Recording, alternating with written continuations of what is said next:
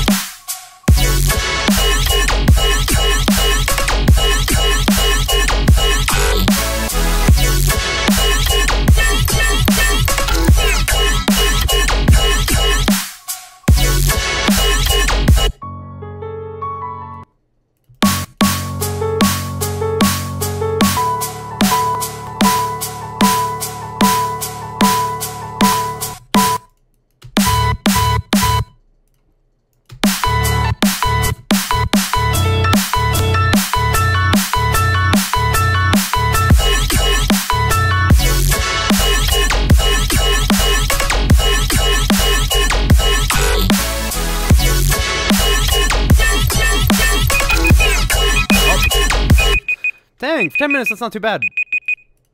Dang, that jump scared me though. Yeah, alright, um, not too bad. I'd probably would have fleshed out these chords a bit more and added some arps, but, you know, not too bad.